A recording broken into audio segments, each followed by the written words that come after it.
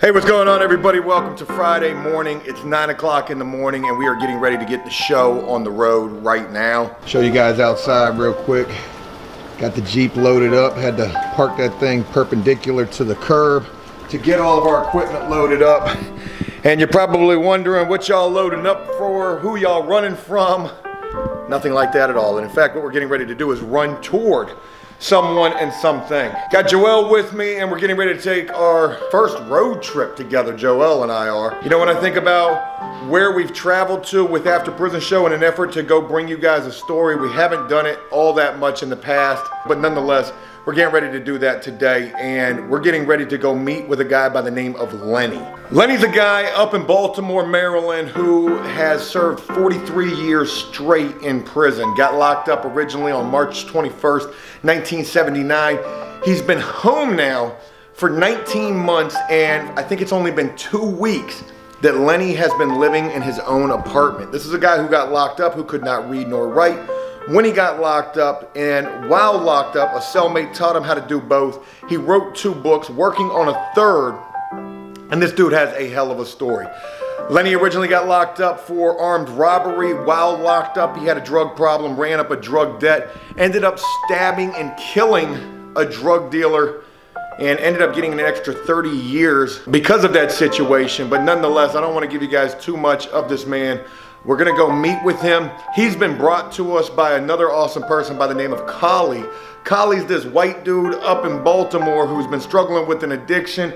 He's been stabbed a bunch of times, never even been to prison. How Collie and Lenny met, pretty interesting story. They were in a sober living house together, which is actually owned and ran by Lenny's brother. We're only going up there for 24 hours and it's our hope to be able to film five videos. It's gonna be a hell of a lot of work.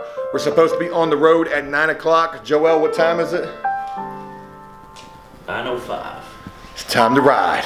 All right, folks, super interesting and exciting times. Looking forward to bringing all of you along for this. So let's get the show on the road. We're on our way to Baghdad, Baltimore, a pretty rough area. So let's go. Right,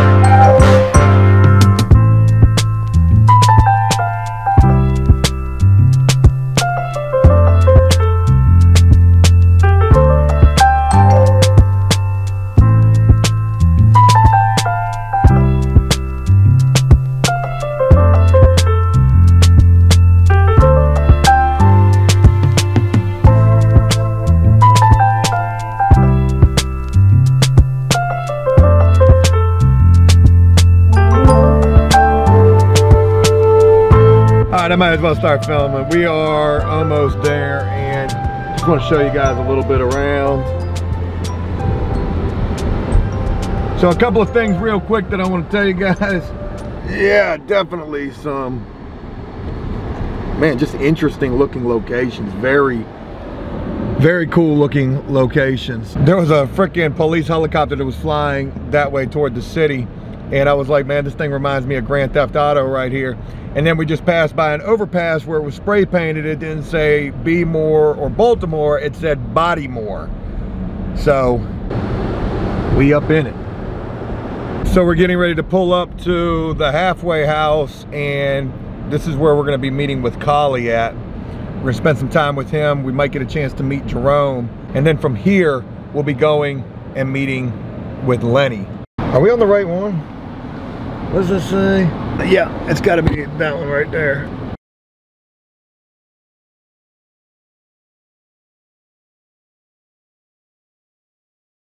My name is Jerome. I am the CEO for the House of Change Behavior Health Center.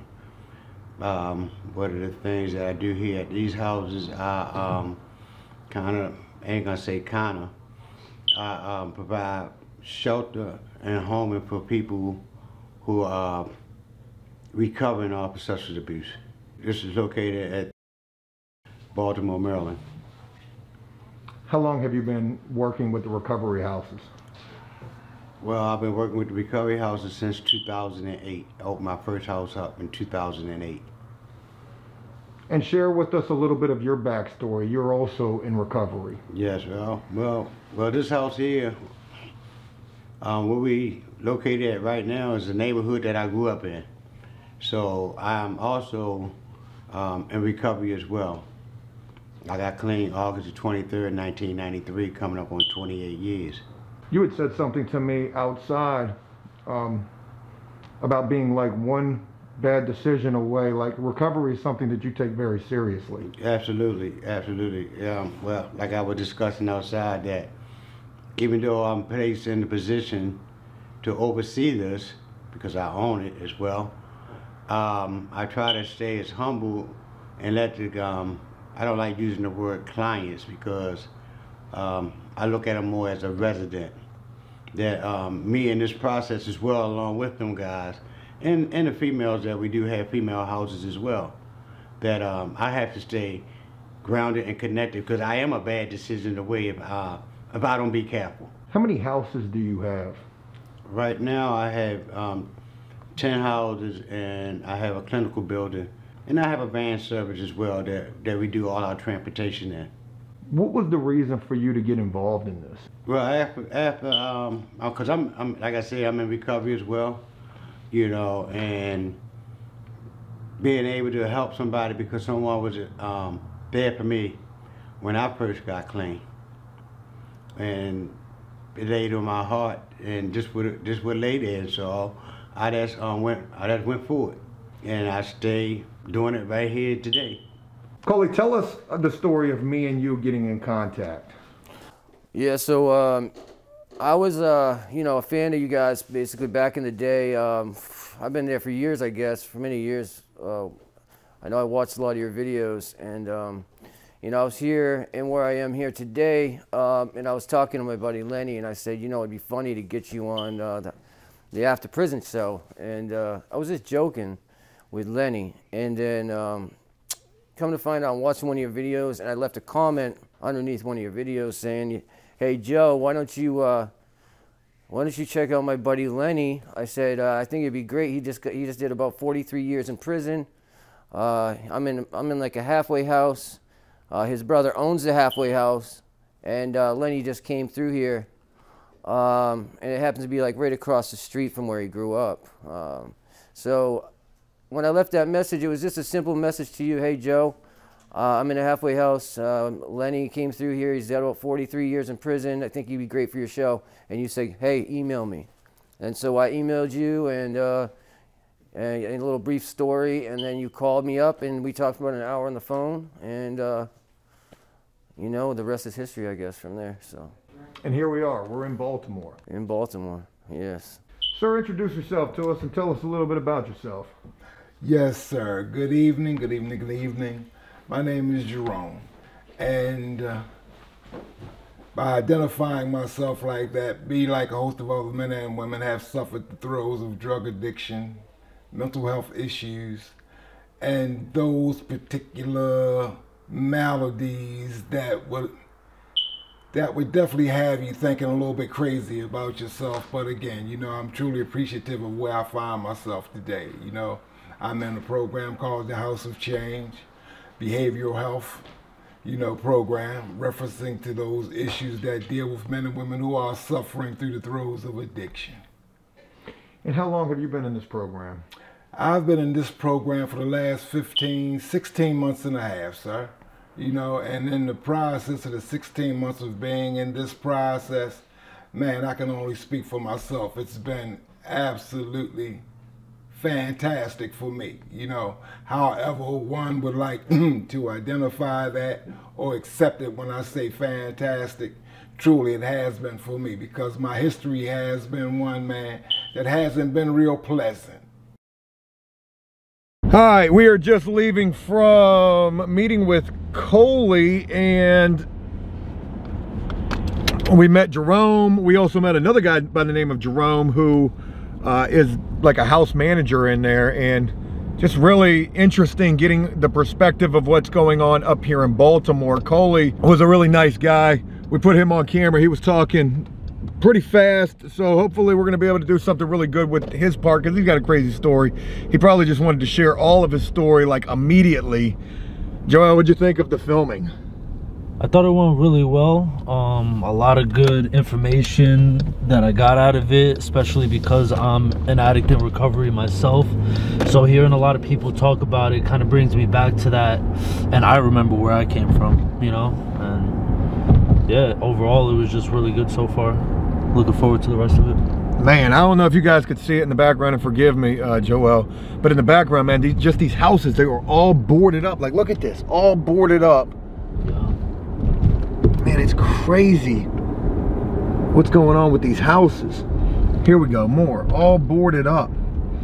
So, yeah, that's really awesome, Joel, that, you know, this is helpful for you too, all boarded up. Damn. I mean, everything is just boarded up around here. But these guys were very nice. Uh, a little apprehensive at first when we got here. They didn't really know who we were, minus the guy Collie. And, you know, once we got a chance to begin talking and hearing Jerome, the guy that runs the house and who is Lenny's brother, once we got a chance to hear him sharing about the fact that he's got 10 of these sober living houses called the House of Change. Isn't that what it was called? Yeah. Called the House of Change. He's got 10 houses. He's charging these guys $3 a day to stay in these houses. But I don't want to put too much out there. This is just the vlog. You'll be seeing little snippets of this throughout this, a little bit of hype for what's to come. There's multiple videos that we're trying to get filmed here. Neither here nor there. We're on our way right now to go meet with Lenny and we can't get in contact with Lenny. Collie says that he played a joke on Lenny this morning, telling him that we weren't coming because it was Valentine's weekend. This is a dude who's done 43 years in prison. Like, I don't know if I'd be joking with him like that, but neither here nor there. I tried to call him, he didn't answer, so we are going to just go show up at his apartment and hopefully we're going to find him. We're going to get a chance to meet with him and we're going to get a chance to film with him. That's the hope, and we're heading over there right now. Dang. There's our next flip house. Shit, you might as well burn All them joints are just crazy. Yeah, they're like broken through all of them. Looks like the Bronx back in the 60s or some shit. Look at that, just burned down. Like, people are probably just burning their houses down. And then you got like this brand new shit right here on the corner. This shit don't even make no damn sense. Right?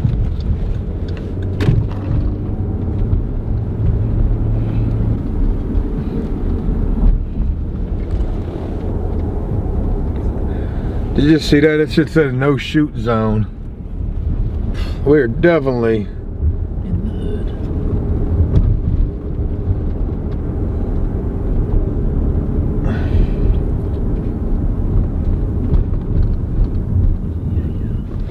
damn.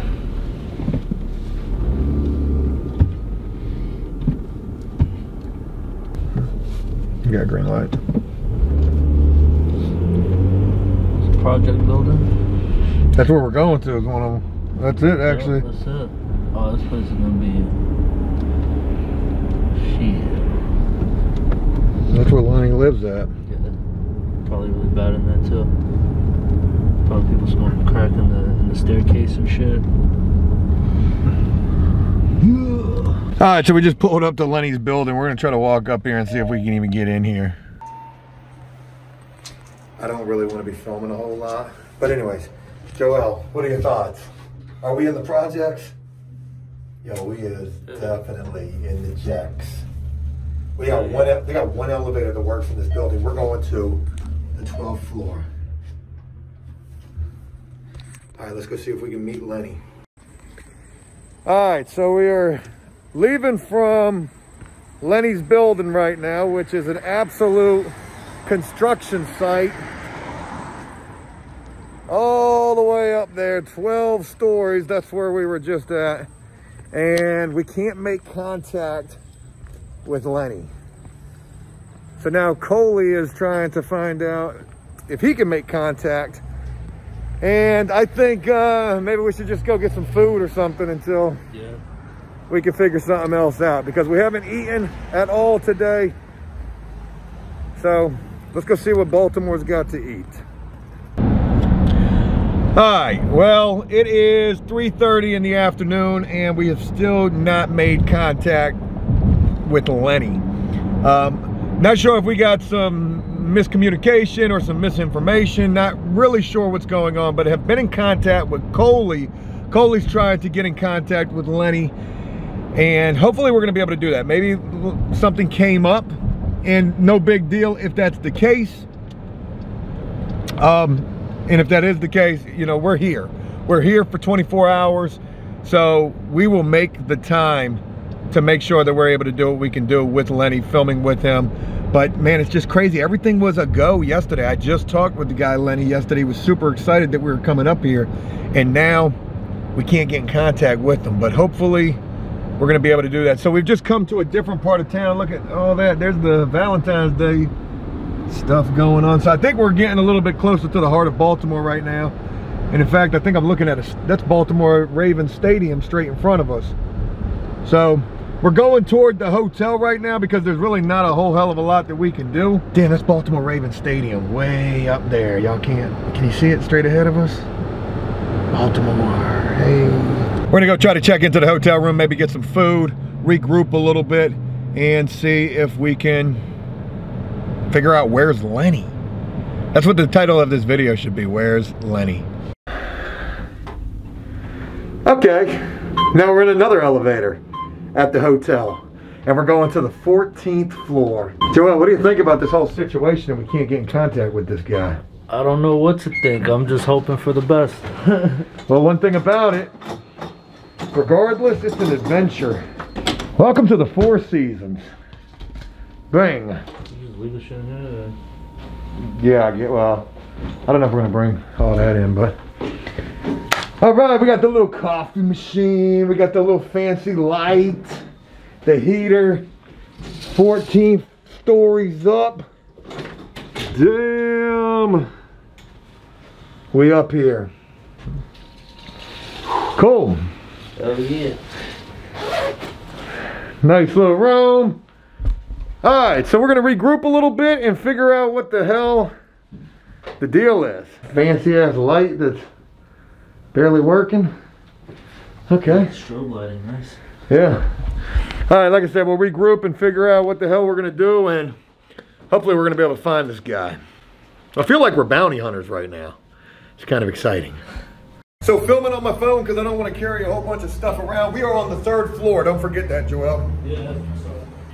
Uh, we, we, we made it to our hotel. We showed you guys that. Well, now we're down by the water and we's about to go get some food. Joel was talking about going to Hooters, but I can't do that. So there's a Hard Rock Cafe down here. There's some other stuff. I just want to see the water. I want to experience this place. We're only here for 24 hours. Uh, we got no idea what their um, what their situation is like. Where are where the hell are we? What do you want me to look for? Hard Rock? Yeah, wherever the water was. So anyways, we also just talked with Lenny. Lenny told us his building's on quarantine, which we were all just up inside of that building. So we're gonna pick up Lenny. We're gonna bring him back to the hotel with us, which is the best case scenario considering the fact that his building is super sketch as it is. Ain't no parking. And well, that's what it is. So we are gonna get a chance to talk with Lenny, shoot some videos with him. Even though this has been kind of chaotic so far, wouldn't expect anything less. And we here. Well, after everything that it's been today, we finally made it to the water district down here in Baltimore. Whew, it is cold. Damn, it's cold. Oh, shoot. They got a submarine way. Can y'all see that? I can't zoom in. A submarine way over there. Pretty cool. And we're just looking for some food. Somewhere to eat. Damn, that is a monster ship right there. That thing is super huge. All right, so uh, what is near us? What's around here? Everything looks really closed. 5.13 in the evening time and we just got done eating at Uno's Pizzeria. We were gonna go to the Hard Rock, but that was just a little too far in terms of the walking. It's bone cold up here and we're on our way to go get with Lenny. We have talked with Lenny. We are getting with him. So we're gonna go pick him up. We're taking him back to our hotel room because we can't film at his apartment. So we're gonna film with him at the hotel and man, it's gonna be an awesome thing because that's what we came up here for. So we're gonna try to get you know, quite a bit of filming done. My thought is we might be able to get, you know, two, maybe even three videos filmed with this guy. I don't really want to overdo it with him but at the same time, we are on borrowed time and it is already almost dark outside. So let's go get Lenny and let's make it happen. I cannot wait to meet this guy and I cannot wait to introduce all of you to this man as well. How y'all doing? My name's Lenny. Uh, they call me Lenny. Uh, I'm just being released from prison after serving 43 years, nine months. Uh, I first went to prison in March 21st, uh, a day that I will never forget, March 21st, 1979. Uh, I was just turning 19. Just turning 18. This is going to be kind of, this trip here is going to be a little emotional for me, you know, so, uh, and as I think back to that day, March 21st, 79, water started, you know, forming in my eyes already, man, and we haven't even got into it, you know, about my flight, you know, so uh, it's gonna be a little bit emotional for me. I became addicted to drugs, the hard drug, cocaine, you know, when I was an early age, you know, at age 13, you know, so in order for me to support my habit, my drug uh, addiction, I started committing armed robberies, you know, and then that went on, you know, until I turned 19, you know, because my drug addiction was kept climbing and climbing. You know, so uh, going back and think about that, you know, it's kind of painful, man. But it was a journey that it was, I guess, was cut out for me, you know, to get to where I am today. So, but I just can't forget about, you know, how it all began for me with my drug addiction, where it led me, you know. So that's where my life of drugs began, and my life of crime began there, in order to support my addiction. All right, I'm on the power shot right now and check out the hotel room. We had to flip the mattress up to make sure that we had a filming location and bang. This was how we was doing it right here. We got the mic stands right there. Joel in the back, and Mr. Lenny, sir. Lenny did awesome on camera. Lenny, how was the filming? At first I was a little nervous, right? But as uh, you made it a little bit easier for me. You made it a little bit easier for me with your questioning, and I feel real comfortable. I'm glad to hear that. You know, and, but, but uh, like I say, I, have watched a, a, couple of your uh, clips before yesterday, and uh, but you were a little bit hurt and angry about it, that that particular situation. so, anyways, the only videos that Lenny's seen is the Danny wow explanation. So here I am trying to tell Lenny, hey, look, it's. but Lenny's very understanding about everything, and man, what a just a crazy situation. Considering the fact that Danny also served 40 years in prison. But we're getting ready to take Lenny home. There's going to be a lot more coming with Lenny tomorrow. And, sir, just a real pleasure to get a chance to meet you, you. and to start hearing your story. Thank you. All right, let's go. You got the key? Yeah, yeah. Word. All right, it is 8 o'clock. And what a productive day of filming up here in Baltimore. True that. Very eventful.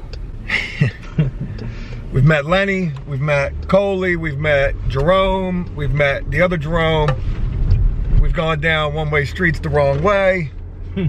we've frozen our asses off up here, but it's been good though. And you know, real quick, uh, one thing that I want to look look at. Oh, I thought she was nodding out right there. She's waiting on the bus. Like no bullshit. I thought she was nodding out.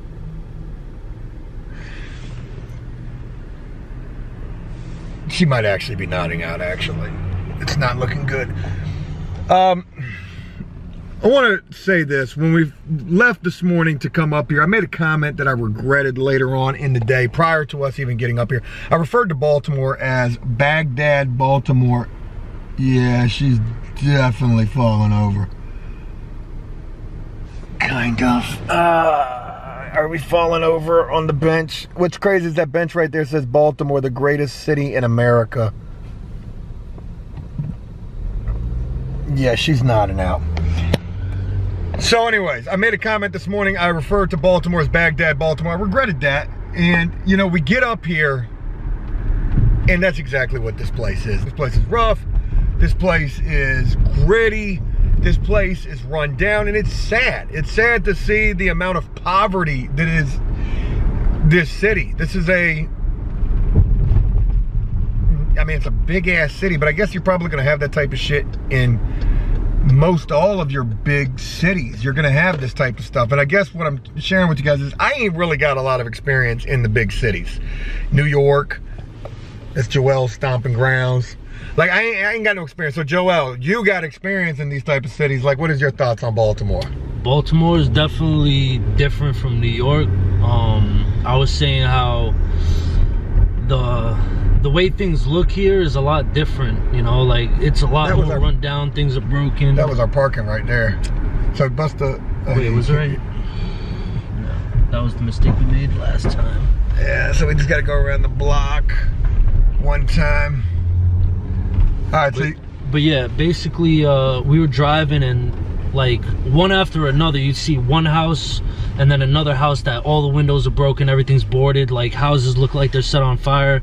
I was saying it looked like the Bronx from like back in like the the 60s. You know what I mean? Where buildings were just on fire. Like it looks pretty bad, you know. And with COVID and stuff going around, there's not a lot of people on the streets, and the people that are on the streets are you know, people that are living on the streets pretty much. You people know? who have to be on the streets. Yeah. Even though we're only here for, you know, 12 more hours, it's my hope to come back up here, work with Lenny as much as possible. Once you guys get a chance to hear Lenny's story and hear this man talk, you're going to be like, holy cow, like this guy is unfortunately very, very fragile. I, I hate to use that word, but that's the, so we got to go up here and then we bust another yeah, it's gonna be right there. He's a fragile dude. He's done a lot of time. He's emotionally uh, damaged, and who knows? Maybe something good could come of this situation. I can't guarantee that you know we're gonna be able to save any lives here, but who knows? Maybe Lenny's story alone could save somebody else's life. So that's the positive thing that we're hoping for. Tomorrow, when we get up with Lenny, our, our hope is to be able to get our hands on the books that he wrote to be able to share, show you guys where to go find these books. I don't know how we're going to do that, but we're going to try to do that. And just spend a little bit more time with him hearing his story. The man's got some crazy stuff. He was in a movie in prison. I'll leave you with that cliffhanger as we get ready to wrap this up. We got to go fight for parking, and we'll pick this up again tomorrow.